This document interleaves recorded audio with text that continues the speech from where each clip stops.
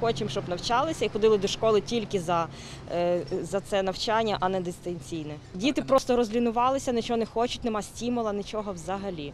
Будемо купляти маски, антисептики, має бути захист. Заздалегідь було багато що куплено. Цього року саме таке необхідне купили спортивний костюм, кросівки. Ну і завжди поки нічого такого не купляли ще. Бо не знаємо, чи буде школа, чи не буде. Нині шкільний клас порожній. 1 вересня до Луцької спеціалізованої школи номер 1 має прийти 120 першокласників. Учителька початкових класів Лариса Мартинюк каже, готується зустріти три десятки учнів. Розповідає, як дотримуватимуться соціальної дистанції. Ми спробували вже розставити парти, так як маємо таку можливість одинарні парти, по одному.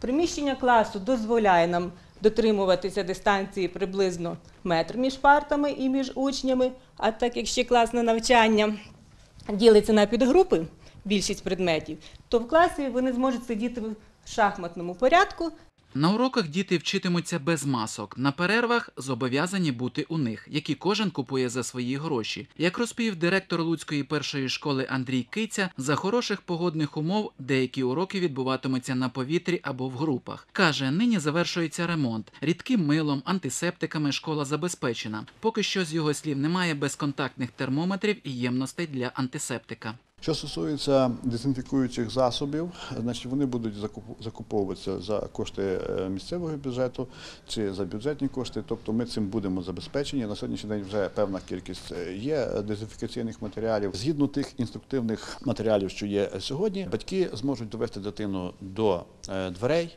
Діти самостійно заходять е, у школу, одягають масочку і заходять до класної кімнати. Ми будемо все робити для того, щоб батьки все-таки у приміщення школи не заходили. З іншого боку, а які в нас є, скажімо, юридичні чи силові права не пустити маму чи тата? Будемо звичайно, що переконувати, будемо пояснювати. Готується до початку нового навчального року медична сестра Юлія Міщук. У нас будуть такі урни для використаних масок. Ковід, е, якщо вже виявлять осіб, які були в контакті, ми мусимо відправляти на самоізоляцію. Далі з ними буде займатися сімейні лікарі. Вчителів допускати після скринінгу температури. Якщо, не дай Боже, буде в когось підвищення температури, у нас буде приміщення. Нібито ізолятор. Ми, е, ми будемо дитину поміщати в ізолятор, викликати батьків. Батьки і діти, з якими вдалося поспілкуватися, кажуть, розпочали підготовку до школи, бо дистанційне навчання їм не до вподоби. Про нововведення говорять таке. За, щоб школа була, а не проти. Дистанційне те є, відвідування школи це не потрібне воно. Сумую з коли немає з ким ну, подружити, там, футбол пограти.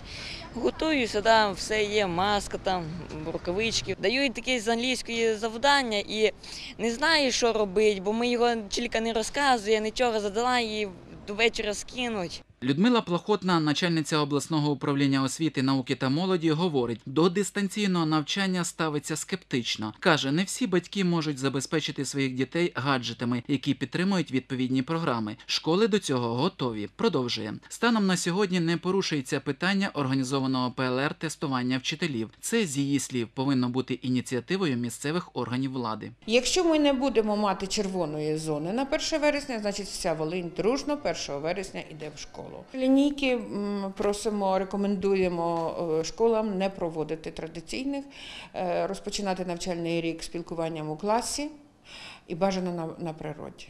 На Волині 1 вересня підуть до школи 16 тисяч першокласників. Загалом навчатиметься 140 тисяч школярів, розповіла Людмила Плахотна.